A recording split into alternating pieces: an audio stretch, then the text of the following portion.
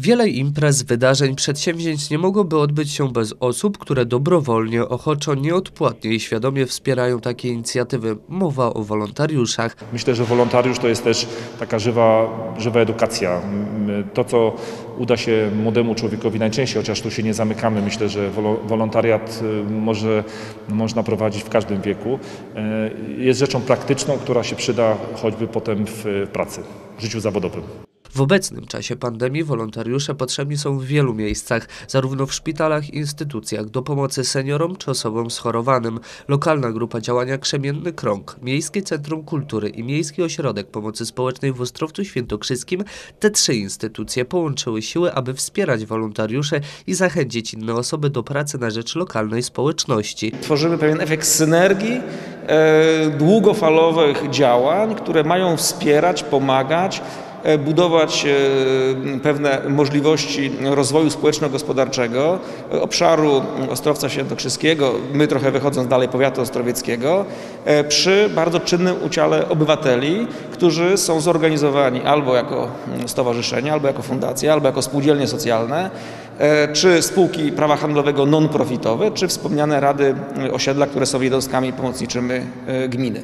Przedstawiciele instytucji obecnie tworzą plan działania i strategię rozwoju wolontariatu na terenie Ostrowca i powiatu. Każdy z trzech podmiotów y, ma ogromne zasoby, które chce zaangażować w ten system wsparcia y, różnych organizacji pozarządowych. E, Miejskie Centrum Kultury jest tu y, jednostką, która dysponuje tym y, obiektem. Miejski Ośrodek Pomocy Społecznej, głównie polityka społeczna, czyli ta pomocniczość.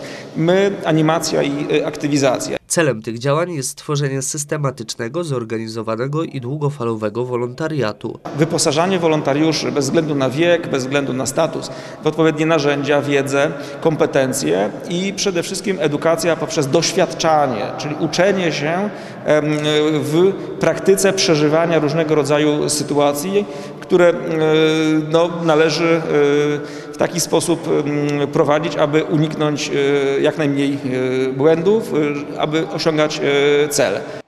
W strefie aktywności społecznej przy Ostrowieckim Browarze Kultury, która dedykowana jest właśnie organizacjom pozarządowym, wszystkie podmioty działające non-profit będą mogły uzyskać wsparcie od doradców Kielecko-Ostrowieckiego Ośrodka Wsparcia Ekonomii Społecznej. Raz w tygodniu, w każdy wtorek, tu y, będzie funkcjonował kun, pu, punkt konsultacyjno-informacyjno-doradczy y, w kwestiach, których organizacje pozarządowe y, mogą się dowiedzieć bardzo wielu ciekawych, istotnych, przydatnych rzeczy od strony prawnej, finansowej, księgowej, marketingowej, psychologicznej. Sporo organizacji się tu spotyka, odbywają się tutaj e, spotkania e, stowarzyszeń czy fundacji, e, ale sądzę, że to jest dopiero początek. E, Chciałbym, żeby ten budynek e, tętnił życiem właśnie trzeciego sektora, wolontariuszy, e, bo dla nich jest stworzony. Organizacje będą wspierane, by usprawnić ich działania, będą miały także możliwość konsultacji odnośnie pozyskiwania środków finansowych.